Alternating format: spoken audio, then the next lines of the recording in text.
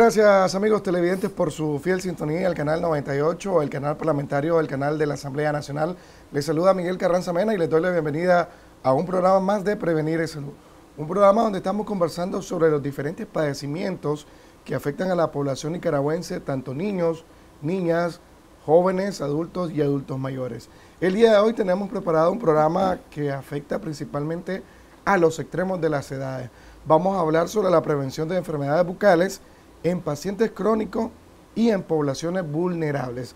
Para ello hemos invitado a la doctora Indira Lindo, quien es cirujana maxilofacial del Hospital de Referencia Nacional Manolo Morales. Bienvenida, doctora, mucho gusto, es un placer. Muchas gracias por la invitación y por estar aquí eh, tratando de informar a la población, ¿verdad?, acerca de las diferentes patologías que pueden presentar eh, en la cavidad bucal. Eh, ¿Quiénes son los ciudadanos? Yo ya decía al inicio que las edades extremas, los niños y los adultos eh, suelen presentar enfermedades bucales, pero ¿quiénes también son esos ciudadanos que tienen probabilidades de enfermarse por, por algún padecimiento bucal? Bueno, la verdad es que la OMS estima que la salud bucal un, eh, o la enfermedad, los trastornos que afectan la salud bucal, están eh, afectando a la mayoría de la población a nivel mundial. Se podría decir que toda aquella persona que tenga dientes va a tener una afectación y las que no lo tengan también, pues porque hay eh, diferentes patologías que afectan tanto los tejidos blandos de la boca como los tejidos duros, en este caso los dientes. Em, si bien es cierto que todos podemos padecer más enfermedad, hay una población de riesgo, como usted lo decía. En este caso podemos hablar de pacientes con enfermedades crónicas, son más vulnerables a tener afectaciones a nivel de la cavidad bucal, entre ellos pacientes con hipertensión, diabetes, pacientes oncológicos, pacientes embarazadas, son los que deben de tener un mayor énfasis en su salud bucal. Ahora, cuando hablamos de esos pacientes, ¿qué tipo de enfermedades bucales o trastornos, como usted le llama, suelen afectar a estos pacientes que usted acaba de mencionar? Bueno, la verdad es que es un rango bien amplio. Es amplio, Es un rango bien amplio y lo más importante es que vamos a encontrar en estos pacientes signos y síntomas clínicos que no son patognomónicos. ¿Qué quiere decir esto? Que por ejemplo usted tiene un paciente hipertenso y no va a encontrar un dato que es exclusivo de la hipertensión, igual con un paciente diabético. Entonces muchas veces nosotros nos enfrentamos al reto de que tenemos que hacer diagnóstico, incluso ayudamos a los pacientes a través de su examen clínico a hacer el diagnóstico en la cavidad bucal, muchas veces de enfermedades que incluso ellos no saben. Por ejemplo, le voy a, le voy a poner un ejemplo. Va, eh, llega un paciente al consultorio, ¿verdad? Y le dice, eh, usted le hace su examen clínico, lo revisa y encuentra que el paciente tiene movilidad de las piezas dentales mm. y un olor cetónico. Entonces uno inmediatamente hace el clic con este paciente y nos damos cuenta que podría estar frente a un paciente diabético. ¿Por qué? Porque estas son características que vamos a encontrar en pacientes diabéticos, pacientes con movilidad dentaria, enfermedad periodontal, eh, un olor cetónico en la boca. Entonces nosotros incluso podemos ser ese primer enlace con la enfermedad con el paciente. Cuando se habla de olor cetónico, ¿a qué nos referimos? ¿Un olor feo? ¿Desagradable? Sí, un olor desagradable como acetona en la boca. Eh, eh, como alcohol. El alcohol tiene una relación más o menos. Ahora, también se habla de que, por ejemplo, un paciente con, esta enfermedad del azúcar tiene una producción de menos saliva y hace que la boca se le reseque. También se habla de caries. ¿Presenta caries este paciente? Estos pacientes tienen una mayor tendencia, ¿por qué? Porque en un paciente diabético encontramos que hay una disminución en su defensa. Entonces ellos son, y además de, esto que usted mencionaba, eh, son más propensos a procesos infecciosos, porque ellos tienen una, eh, su organismo se defienden de una menor manera, por así decirlo, entonces ellos están más propensos a que las bacterias que normalmente todos tenemos se formen, se vuelvan más virulentas, más dañinas dentro de la cavidad oral.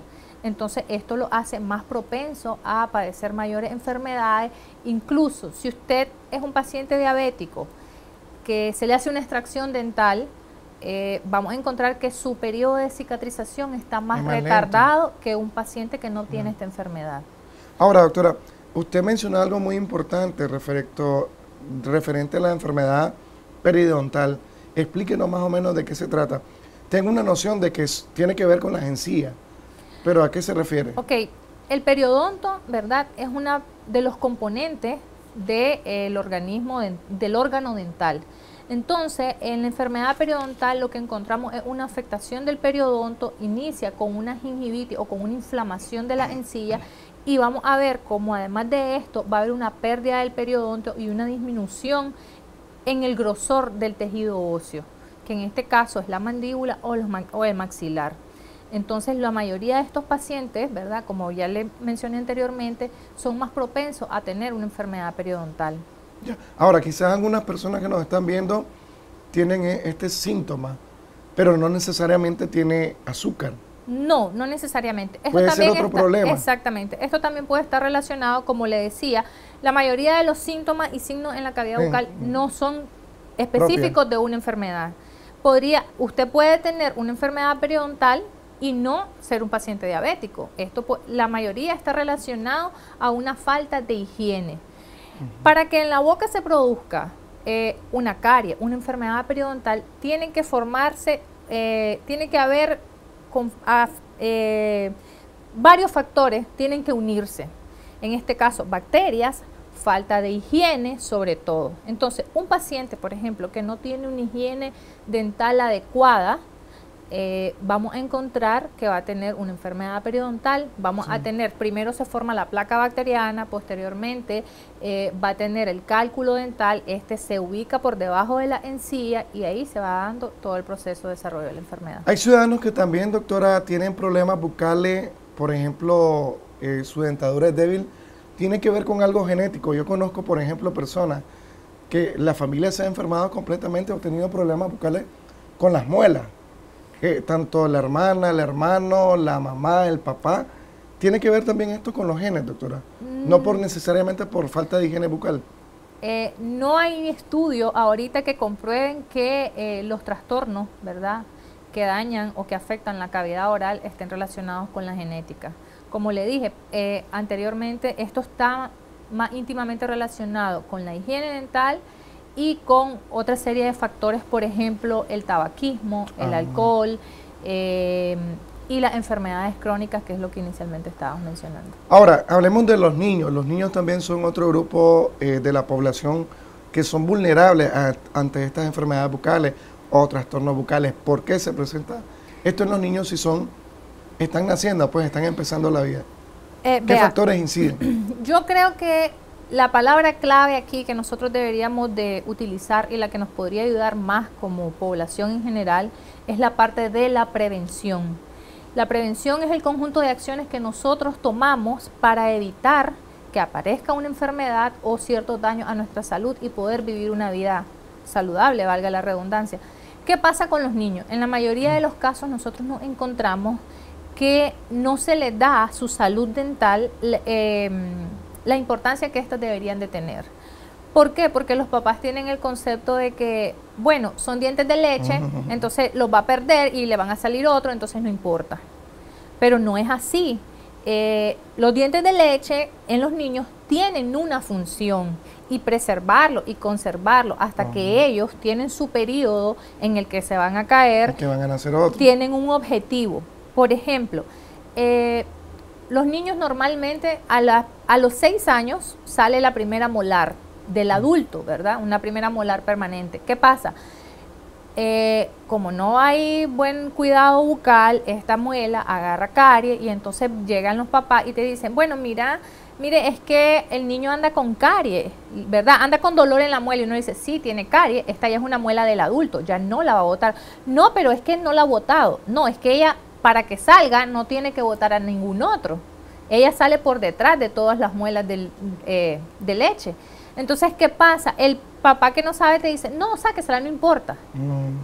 ¿Ya? Entonces vemos que no hay ese cuidado. No es que realmente ellos estén propensos, no es propenso está un niño que tiene una enfermedad oncológica. Él sí es un niño propenso. Pero un paciente eh, con un estado de salud bueno no, es, no está propenso.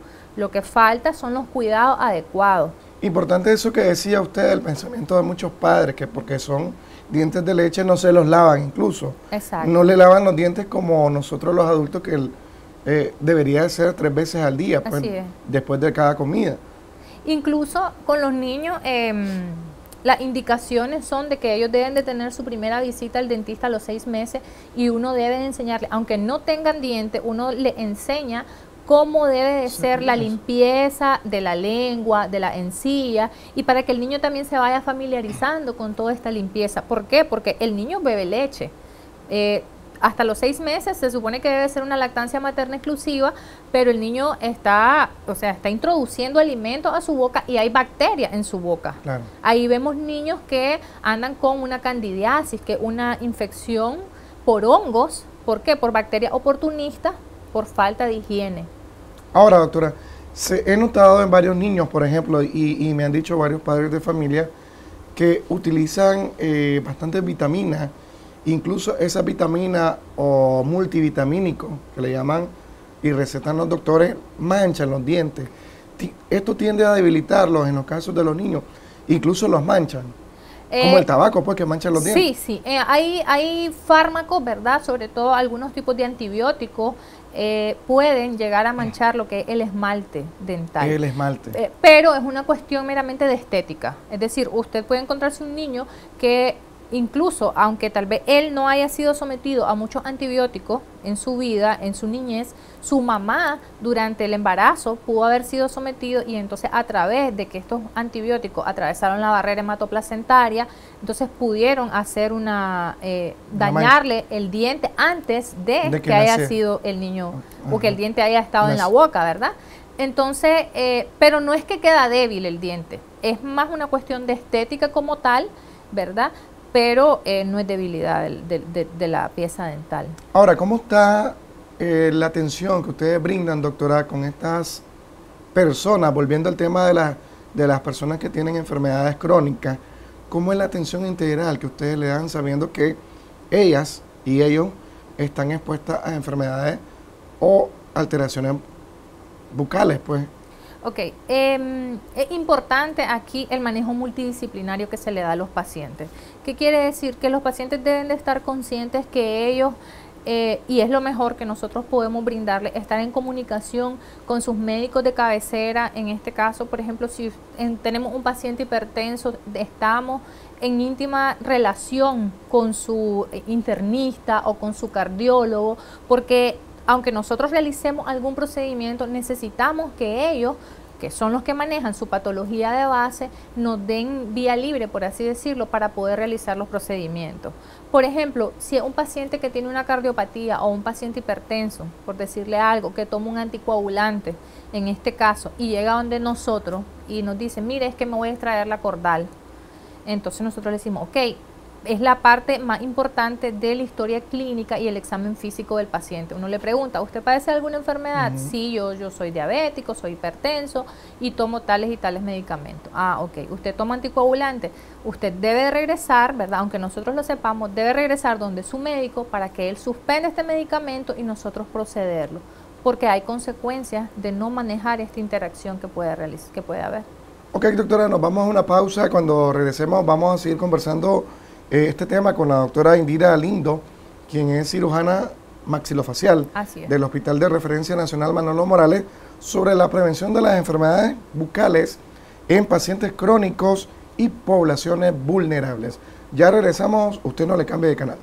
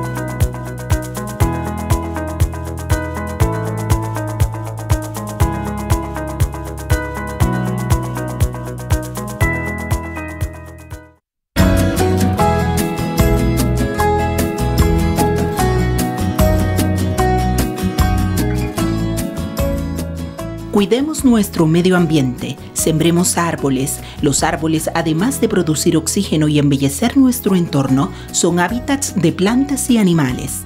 Promovamos la siembra y cuido de árboles para un aire más limpio. Cuidemos nuestra flora y fauna. Este es un mensaje de la Asamblea Nacional.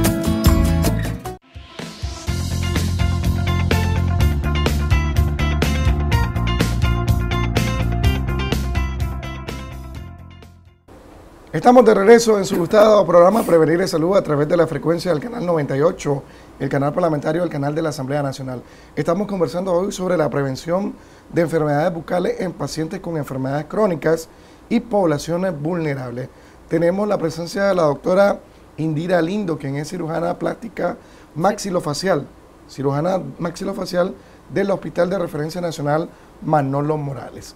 Doctora, ¿cuál es la frecuencia que ustedes asisten a estas personas que tienen enfermedades crónicas y que ustedes pues le deben de dar atención, la frecuencia que ellos deben asistir donde usted o donde sus compañeros que tratan esta enfermedad.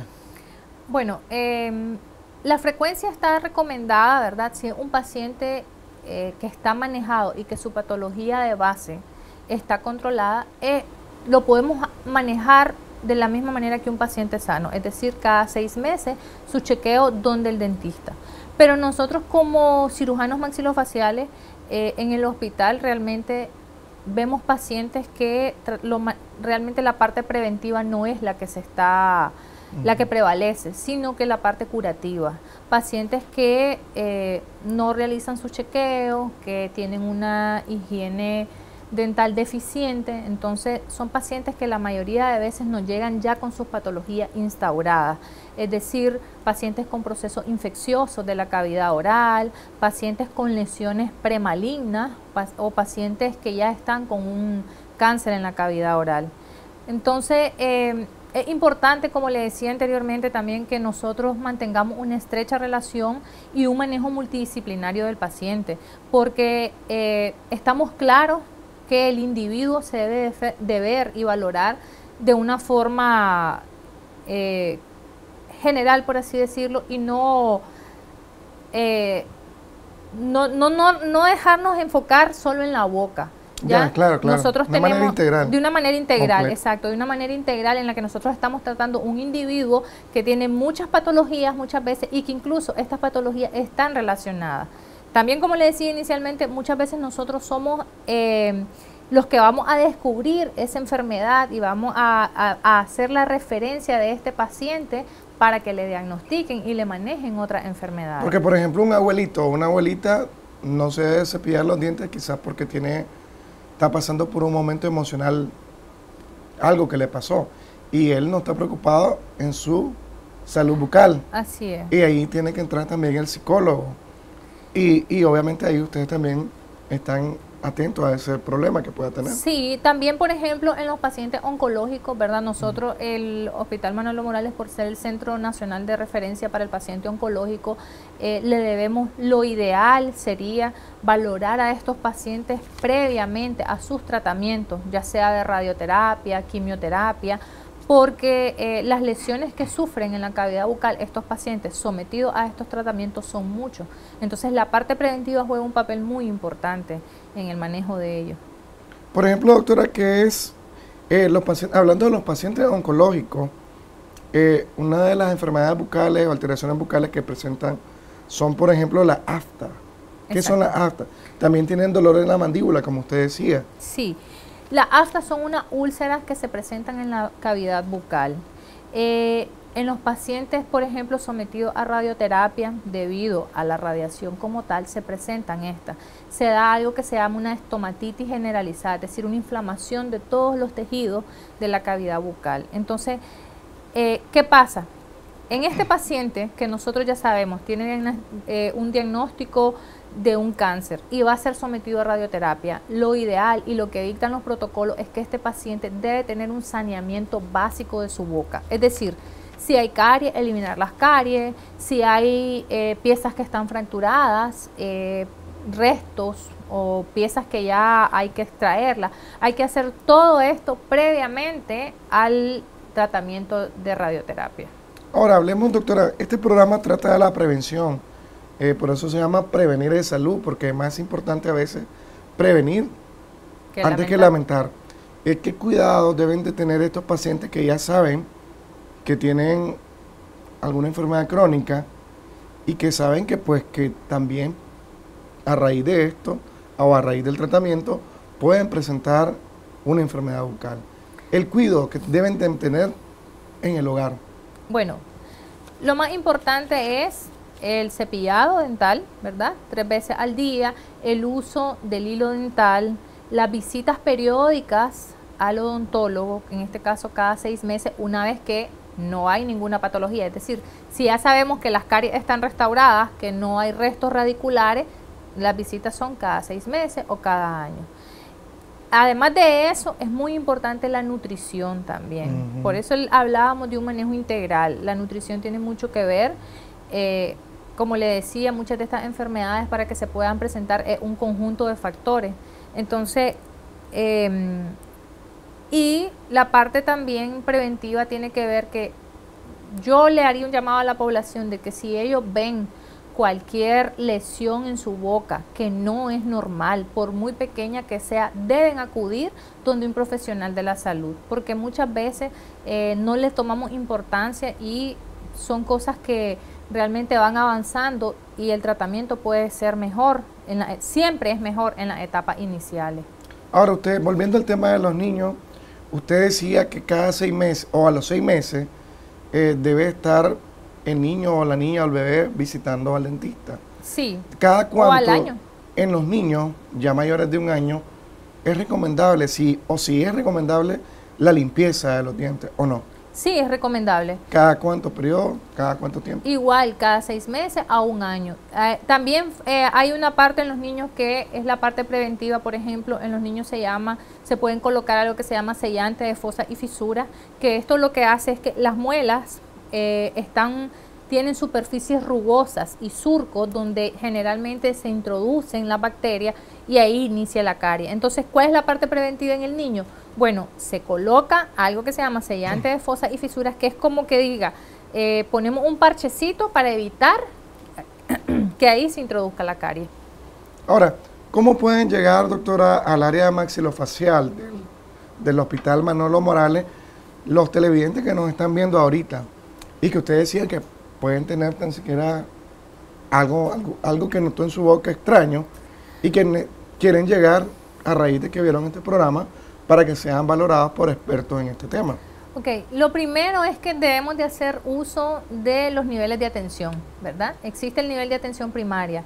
En este caso, el paciente debe de ir a su centro de salud, ¿verdad? Donde hay odontólogos que ellos saben cuáles son las patologías y eh, las cosas que ellos pueden tratar y manejar. Si esto sale de las manos del dentista, va a ser referido hacia nuestra unidad de salud. En este caso, eh, por ejemplo, terceros molares, pacientes que tienen trauma en la cara, fracturas mandibulares, fracturas nasales, ese es el tipo de pacientes que nosotros valoramos.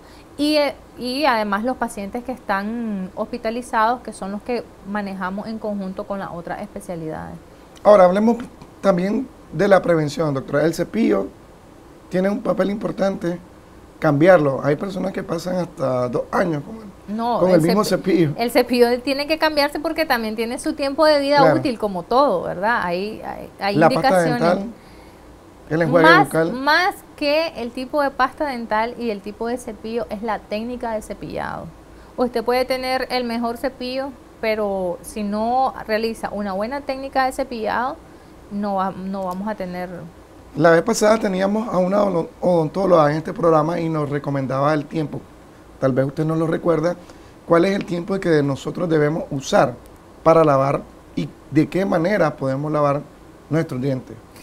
Mire, hay diferentes recomendaciones, ¿verdad?, con respecto a la técnica, pero lo más importante es, por eso le decía que los niños deben de ser introducidos en, un, eh, en este tema, y lo más importante es mi recomendación personal es que exista primero un orden, es decir, nosotros empezar, por ejemplo, en el lado superior derecho, continuar al lado superior izquierdo, para así, eh, teniendo este orden, nosotros evitamos que se nos olvide alguna parte de la boca.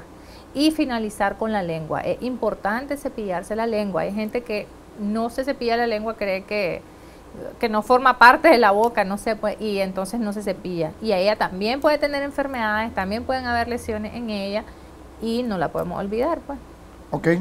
Le agradecemos, doctora Lindo, Indira Lindo, cirujana maxilofacial, corrijo, no es cirujana plástica. No, cirujana, maxilofacial del Hospital de Referencia Nacional Manolo Morales. Con ella estábamos hablando sobre la prevención de enfermedades bucales en pacientes crónicos y en pacientes vulnerables, como son nuestros abuelitos, nuestras abuelitas y nuestros niños, más que los niños comen bastante dulce y se origina también la carie. Así es, recordemos que eh, además de la carie, los dulces van a crear otra serie de enfermedades, ¿verdad? En los niños, obesidad, podemos tener niños con una diabetes eh, juvenil, entonces son múltiples las razones por las cuales debemos, debemos cuidar la alimentación de los niños además. Le agradecemos, doctora. Gracias a ustedes por la invitación. Le agradecemos también, amigos televidentes, por su valioso tiempo. Le esperamos el día de, la, de mañana, a esta misma hora, 3 de la tarde a 3 y media, para seguir conversando sobre temas de salud. Recuerde que prevenir también es salud.